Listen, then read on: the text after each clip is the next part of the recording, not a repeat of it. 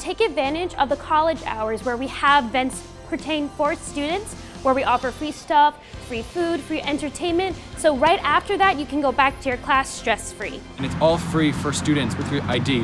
So I'd really encourage you to get involved because it'll really transform your experience at Brookdale.